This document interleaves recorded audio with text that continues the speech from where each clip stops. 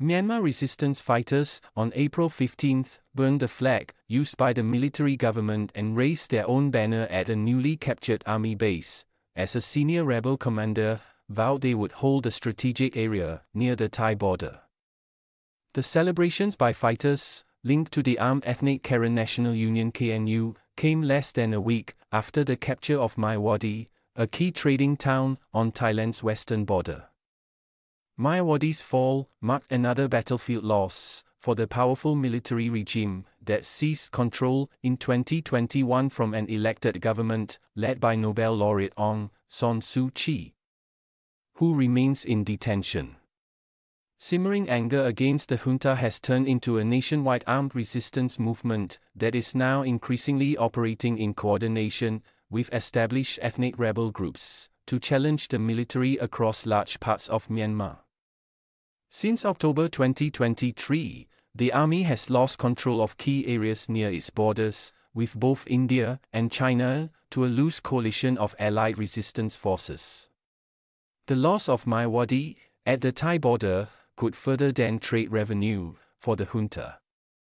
In a rare in person interview, Colonel Nader II, an operational commander of Brigade 6 of the KNU's military wing that captured the army base, said junta forces have tried and failed to retake the area. They have been unsuccessful in making a breakthrough twice now, he said. He added that the rebels controlled most of the area and would continue to consolidate authority before handing over administration to the KNU's political arm. Our military operation will end at the end of April, he said. A spokesman for the military government did not answer calls on April 15 from Reuters. Faced with the rebel assault, several hundred junta soldiers tasked with defending Myawaddy withdrew from their positions, with a group of less than 200 retreating to near a bridge connecting the Myanmar town with Thailand's Mae Sot. These soldiers must either surrender to Thai authorities or to the KNU, failing which they may be targeted by resistance troops, Col Nader II said. Thailand's Foreign Minister, Parnpree Bahiddha-Nukara, said last week that the junta soldiers would be allowed to cross the border if they gave up arms and requested refuge.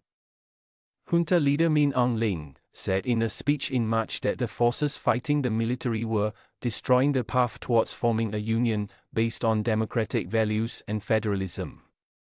But for the Allied resistance forces in Myawaddy, April 15th was a day to celebrate. We are very happy that our revolution has come this far. If we can take more Myanmar bases, we will achieve our objective of overthrowing the junta.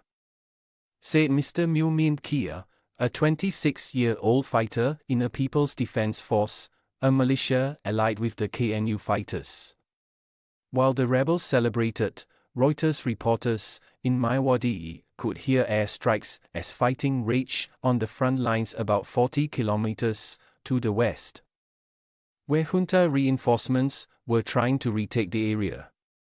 Burned down houses and buildings, riddled with bullets, were visible near the captured military base, where stray dogs roam amongst empty buildings. On April 14, a spokesman for the KNU said the rebels had pushed back a second military attempt to break through their lines and advance on Myawaddy.